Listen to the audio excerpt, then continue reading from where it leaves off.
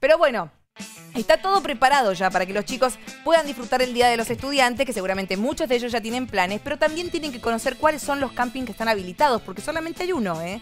Y controlarán mucho también el tema del alcohol. Bueno, atención, va a haber grandes operativos con puestos fijos y móviles para el decomiso y destrucción inmediata de alcohol.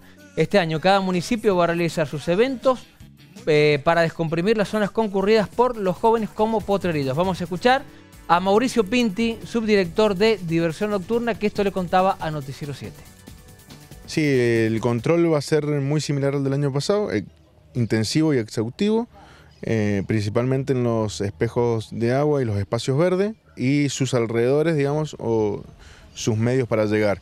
Este año, al igual que el año pasado, tenemos una particularidad que, impulsado desde la provincia, los municipios han tomado la, de hacer varias actividades y eso nos permite que el público esté diversificado en, todo el largo y ancho de la provincia y no como había pasado hace seis años donde se colapsó Potrerillo y fue un desastre, digamos.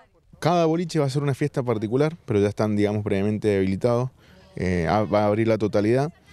Y lo que sí, el único camping, camping autorizado para realizar festejo de parte de los propietarios con banda y escenario va a ser el Camping General San Martín del Carrizal. El resto de los campings van a poder abrir, pero solamente como camping, eh, sin la promoción de ninguna fiesta, digamos, desde eh, el dueño.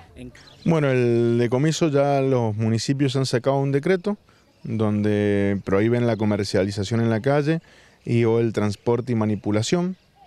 Eh, esto ya es para general, ya sea mayor o menor de edad. Muchos casos se veía que los mayores de edad les llevaban el alcohol a los jóvenes, por eso se ha prohibido haber decomiso y destrucción inmediata eh, por parte de los efectivos, digamos eso, del ministerio, como también de los inspectores de comercio del municipio que van a estar a presto y colaborando con este operativo.